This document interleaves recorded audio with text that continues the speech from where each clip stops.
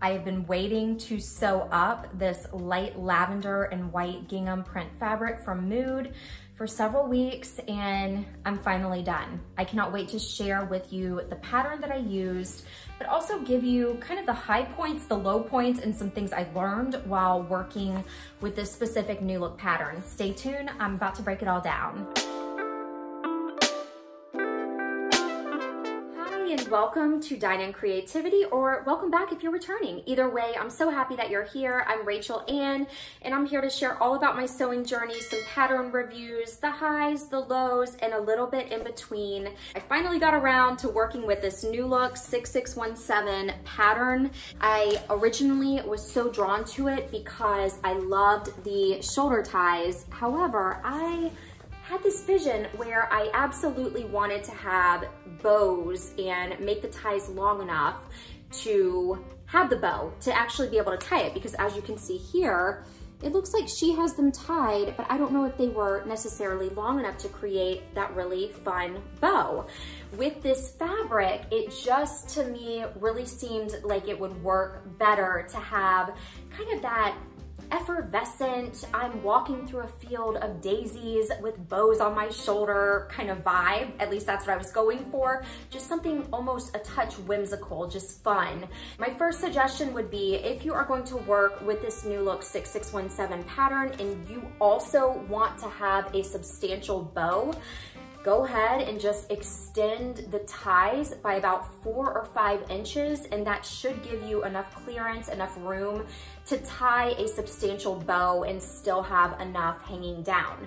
Now, I kind of flirted with the idea of maybe making a very exaggerated bow, but when I really started working with this specific fabric that is slightly light, and even thin, I realized that I didn't want to overpower it. And plus with the pattern, you know, of the fabric, I wanted to keep the bows slightly more contained, but I could definitely see where even if it was like black velvet dress material for some kind of event that you had coming up, how cute exaggerated black velvet bows on the side would be. Hair pulled back, red lipstick, something of that nature.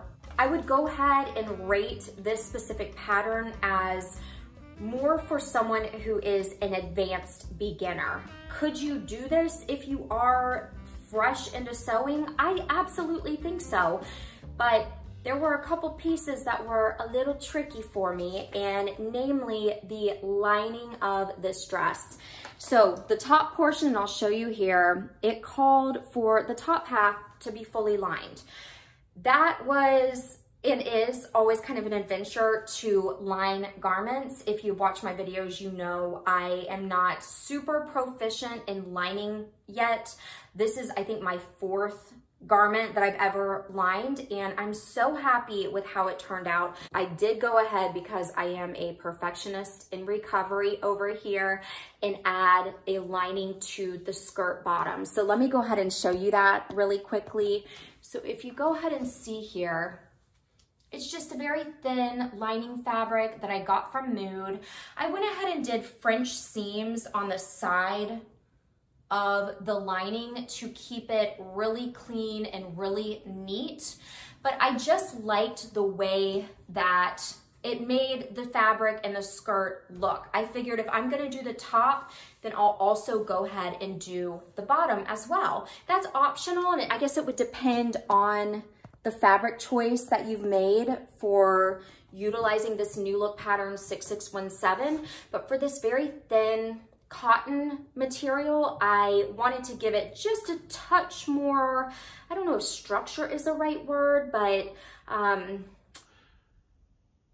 what would be the word here? A little bit substantial, I guess you could say, um, versus the very thin material that it is. Absolutely beautiful to work with still. I could even see this being used for children's clothes and you probably wouldn't need to line it, but I did love this fabric. I know I'm kind of jumping all over the place here. The fabric was glorious to work with. Cotton is a dream to sew up, as you probably know watching. So getting back to the pattern itself, the actual ties at the shoulder, I did not sew to the dress. I wanted to have the option to remove the bows if need be.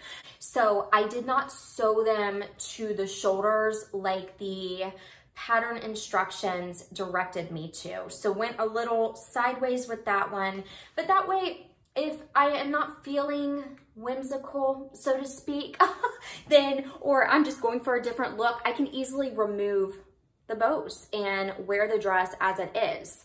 There was a, and I'll show you, it was an invisible zipper, which I totally understand why. I know it's not perfect, but I did sew in, I believe it's a 16 inch or 14 inch zipper and it makes it so much easier to get in and out of. I could see how if you bought really stretchy material to make with this dress, how you could maybe even just make it a garment that you pull on over your head. So that's always an option itself as well. There are several different views for this new look 6617 pattern. As you can see here, and I'll try to get up nice and close, there are three. There is A, which is what this particular dress is that I'm wearing, B and C. The C has these little flounces, which I could see being very cute and adding something to the dress. I think that with the right fabric, this would make an absolutely gorgeous maxi dress. And then even adding the ties with it, bring some detail to the shoulders, but then have that beautiful ruffled flounce at the bottom. The pattern itself has 11 pattern pieces if you are making view C.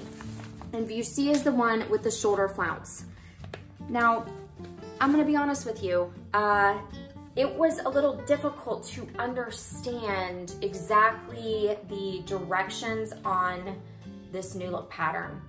I mean, it was one where I studied it and read it and then reread it and still could not conceptualize what they were trying to ask me to do. So I did end up going a little sideways, almost kind of making some assumptions based upon other Big Four patterns that I've used before, but it wasn't 100% clear. I don't know if you've had that experience in working with new look patterns before. This is really the first one I've come across that, you know, was a kind of couple head scratcher type moments here. Again, that's why I am rating this as an advanced beginner pattern because if maybe you aren't fully familiar with sewing and the different, whether it's terminology or directions, I could see where this would be a little bit difficult. It's a little bit of a toughie for me to fully understand. I was going to take this dress off so I could fully talk about it, but now that I have it on, I actually don't want to take it off. I'm feeling, feeling good. You know, it's one of those pieces I've noticed that you put on and it just boosts your mood. So I'm going to keep wearing it, but I wanted to just really quickly share a couple things that this pattern called for. Right from the get-go, the first piece you work with is the bodice and they ask you to make pleats in the shoulder itself which really gives this effortless kind of pleated bunched up look here, which I love. Again, I think that that adds a little bit to the actual dress and pattern itself. When you originally sew the bodice, it is four pieces, one, two, and then the two back panels. When it came to working with the bodice itself, this is where I kind of started to get a little bit lost here. There's a lot of pieces that you're working with. So technically you're supposed to have four separate bodice pieces, two on the front, two on the back. I decided to cut the front on the fold because I wanted to have a nice, really nice, clean inside which kind of doesn't make sense now that I think about it because it is fully lined. And what I did is just sew the lining to the right side of the garment and then turned the piece inside out. Uh, which really, obviously, I know I keep showing you that, but it creates a very clean finish, which is what I am always going for. And so that would take care of sealing that rough edged bodice front, but I didn't do that. That wasn't necessarily the reason why it was difficult. There were just many different steps in terms of interfacing, sewing in darts. And then you get to step nine, and I'll show that to you right here. And that was where, for me, things kind of took a turn. I realized that if I was going to sew it up the way that they were telling me to, I had done something wrong. And I don't know if that was the lining of it or what. Um, in the end, the sewing, the dress turned out exactly the way I wanted it to. I was going to make sure of that because I didn't want to waste this gorgeous fabric from Mood and I'm very happy with it. But the other piece, if you haven't sewn in a whole lot of zippers, then this may give you a little run for your money.